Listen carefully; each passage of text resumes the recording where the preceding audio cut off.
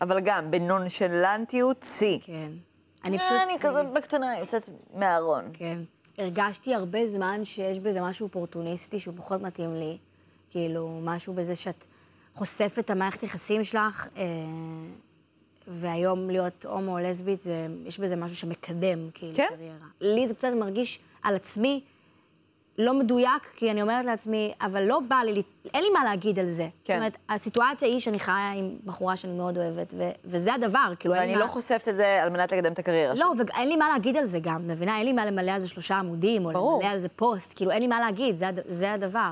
זאת אז, אומרת, אז מה בסופו של דבר כן גרם לך לחשוף את המערכת יחסים שלכם? זה קרה בטעות. וואלה. זאת האמת, כן. יש כזה מין מדור בארץ, שקוראים לו מדור פנים. כן. שעושים כזה. מצלמים את הפנים, ואז כזה עושים כזה מין...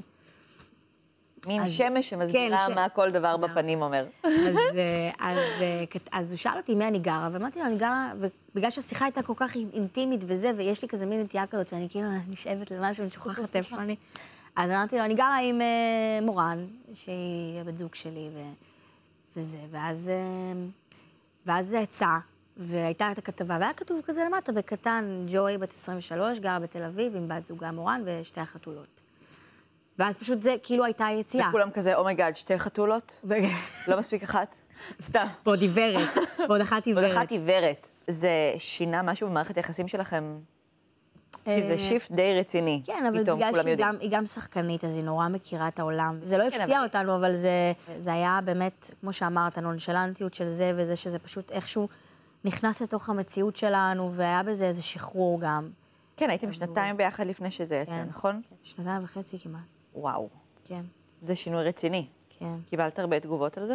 אה, השתדלתי לא לקרוא טוקבקים, כי יכולים להיות דברים מאוד מרושעים לפעמים, אה, ואני כן נוטה להיעלב. אה, יש בזה משהו שפשוט יוצר כזה, מין תחושה של כזה בהלה, כאילו, למה? אתה לא מכיר אותי, אחי, למה אתה כותב דברים כאלה? אז... אה, טוקבקים זה זוועה, אבל אה, כן. תגובות, נגיד, לא, תגובות אז, אז באינסטגרם. יש, היו תגובות מדהימות, וילדים ובני נוער, תגובות מהממות, באמת באמת, וגם מחברים, ואנשים כזה חיזקו אותי וכתבו לי, וכזה הרגשתי שיש לי יום הולדת. אז כזה חגגתי, חוגגת פעמיים השנה.